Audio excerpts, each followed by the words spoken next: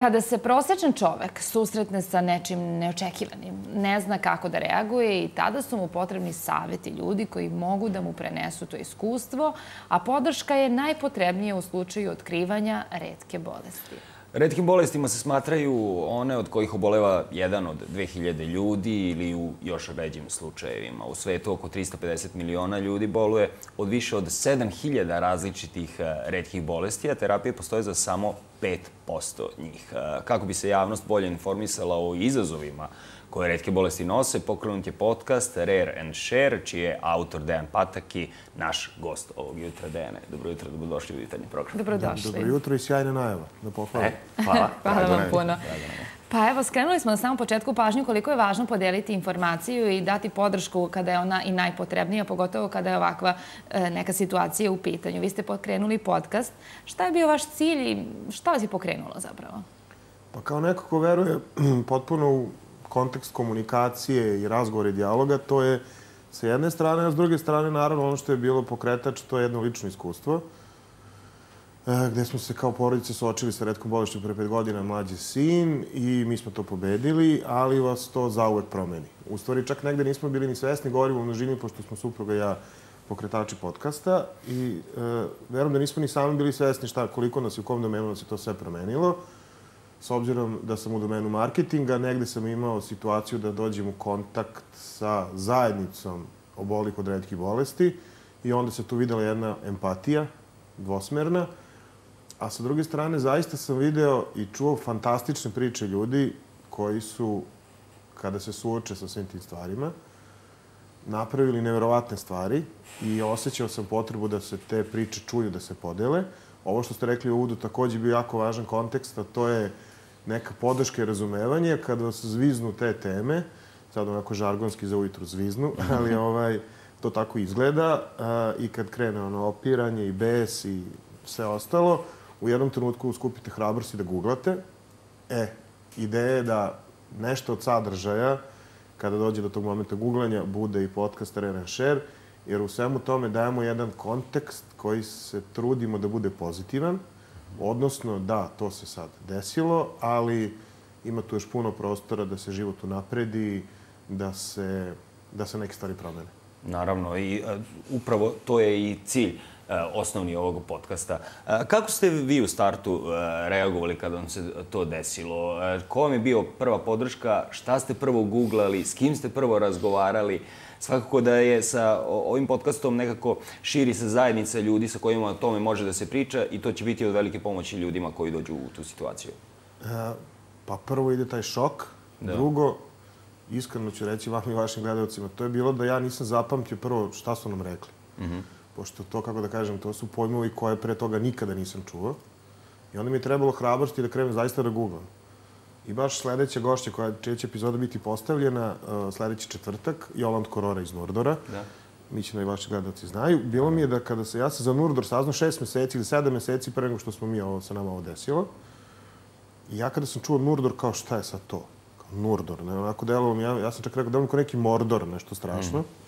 A onda me je život nam, namestio tako da sam za sedam meseci prve informacije u vezi sa redkom bolešću svog deteta jedine na srpskom jeziku našao na sajtu Nurdora. Mm -hmm. I onda taj moment u kome nismo upoznali nikoga koji ima isto iskustvo i slično iskustvo i prosto taj jedan kontekst podrške da niste sami, to već puno toga znači. Ja, fali tih sadržaja na internetu. Iako mislimo da na internetu ima sve, ovoga fali, je li tako?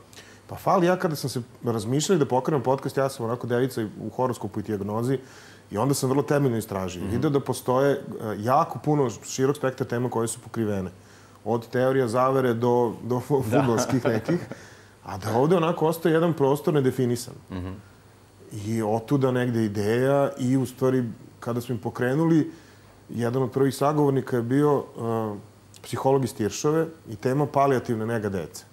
Znači, tema koja kad se izgovori već onako prođe mm. jeza, ali ja ni jedan, bukvalno sem dva uh, magistarska, odnosno doktorska rada, nema, o tome ne postoji ništa na srpskom jeziku. Mm -hmm.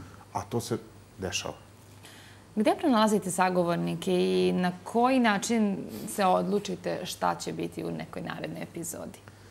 Pa, sagovorniki, kako da kažem, to, deo smo te neke zajednice, prepoznajemo se, tako da nije teško doći do sagovornika, a, a taj spektar koje pokrivamo i koje ideje da ih pokrijemo u buduće su a, od udruženja pacijenata koji imaju da ispričaju da se pojavila nova terapija, do psihološke podrške, pravnih okvira. A, eto, poslednja epizoda je praktično, mislim da može da se deluju, puštaju na medicinskom fakultetu, pošto se priča o novim medicinskim ostignućima i mm -hmm. istraživanjima. I ono što sam rekao, to su inspirativne priče ljudi, žena koje su doslovno i fizički menjale zakone u Srbiji, dovode nove terapije, na primjer u neurotransmiterskih bolesti, ili na spomenutu malo pre ženu koja će biti, čiju epizodu emitujemo za sedam dana, sa koja sa svojim udruženjem podigla bolnicu. I ideja je da se naravno to što više čuje i što više priča, a podcast je forma koja malo dozvoljava da to bude komotnija, Naravno. Uh, vi ste sjajni, evo, ja sam sad ovde, i ovaj, ali ovo je drugačiji format. Imamo ograničeno vreme i sve, a podcast je forma koja dozvoljava da se izrazi i nismo ograničeni sa vremenom, tako da je onda taj kontekst Možda da ispričate sve o temi što je potrebno da se sazna i kad je nekome potrebno da se udubi više, da saznaje više. Upravo to, upravo to pitaju kao koliko traje, ja kažem Koliko god je potrebno. Koliko god je potrebno, čak smo rekli sve se snima, ako treba da napravi pauza, da se već nešto, da, da nastavljamo, tako da uopšte tu ne postoje ograničenja. Da. da li u borbi sa e, redkom bolešću često potrebna izmena određenih zakona koja postoji kod nas e, i koliko ste često imali susret sa tim?